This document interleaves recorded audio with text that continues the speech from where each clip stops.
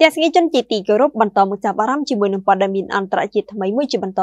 ដោយប្រធានាធិបតីប្រេស៊ីលលោកសាប៊ូលសូណារ៉ូបានអះអាងថាមិនថ្កោលទោសប្រធានាធិបតីរុស្ស៊ីលោកវ្លាឌីមៀពូទីនឡើយដោយលើកឡើងពីការរក្សាអព្យាក្រឹតគូបញ្ជាក់ថាការលើកឡើងបែបនេះរបស់លោកគឺផ្ទុយទៅនឹងគោលជំហរផ្លូវការរបស់រដ្ឋាភិបាលលោកនៅឯអង្គការសហប្រជាជាតិ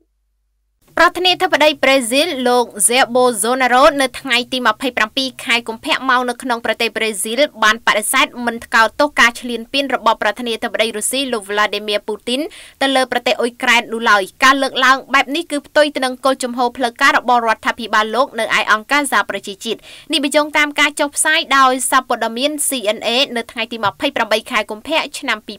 2022នៅក្នុងសន្និសីទសារព័ត៌មានមួយលោក Jair Bolsonaro បាននិយាយយាយថាលោកបានជួបសន្ទនាជាមួយនឹងលោកពូទីនតាមរយៈទូរស័ព្ទ2ម៉ោងកាលពីថ្ងៃអាទិត្យដោយលោកបាននិយាយថាប្រេស៊ីលនឹងរក្សាអព្យាក្រឹតក្នុងចំនួននឹងបានកត់សម្គាល់ថារុស្ស៊ីនិងអ៊ុយក្រែនគឺជាប្រទេសបងប្អូននឹងគ្នាទោះបីជាយ៉ាងណាក៏ដោយប្រធានាធិបតីប្រេស៊ីលរូបនេះក៏បានបដិសេធមិននិយាយលម្អិតអំពីស្ថានភាពនៅប្រទេសអ៊ុយក្រែននៅក្នុងកិច្ចសន្ទនាជាមួយនឹងលោកពូទីននោះទេ